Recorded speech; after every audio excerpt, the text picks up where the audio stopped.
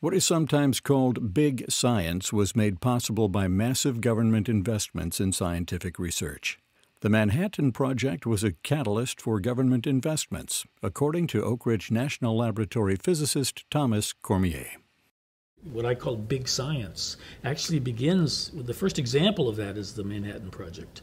Because uh, prior to that, you know, governments around the world did not invest in science at all. And uh, you had private foundations and or universities or whatever uh, investing in science, and that really limited the scope of what you could do.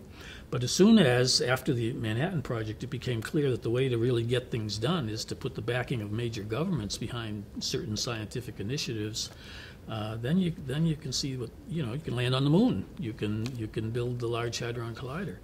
So that really begins with the Manhattan Project. This whole idea of government investing in science really came out of the Manhattan Project. To explain the advantages of government funding of science, this is ORNL electrochemist Adam Rondinone. Congress funds scientific research in this country with the intent that it's going to help everybody. And so the knowledge and the information that we discover it gets reported, and it gets reported in journals. Um, in some cases, we put it out in the popular press. Occasionally, we'll make a, a YouTube video and put that on the internet.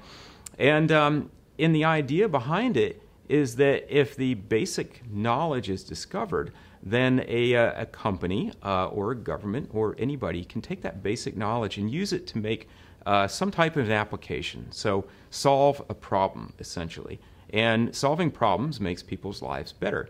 Oftentimes, solving a problem gives us new economic opportunities, so we might be able to found a new company and put people to work.